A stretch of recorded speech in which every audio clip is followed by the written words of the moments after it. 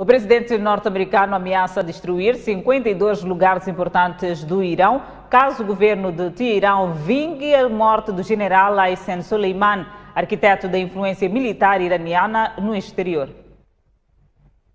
Continua tensa a relação entre os Estados Unidos e o Irão desde a morte do general iraniano Qassem Soleiman, comandante da Guarda Revolucionária e arquiteto militar da influência do Irão no exterior.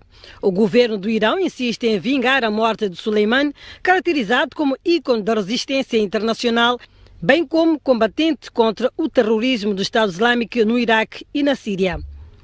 O general Gulamal Abu Hamze, comandante sênior da Guarda Revolucionária citada pela agência de notícias Tasmin, disse ter já identificado 35 alvos norte-americanos no Estreito de Hormuz para serem destruídos, tendo incluído Tel Aviv, capital de Israel, que é aliada dos Estados Unidos.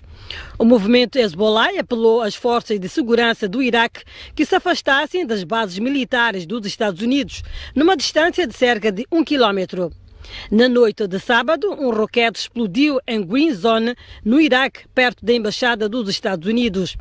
Em reação a estas afrontas e ameaças, o presidente norte-americano Donald Trump disse no Twitter ter identificado 52 lugares iranianos para serem destruídos, incluindo lugares culturais.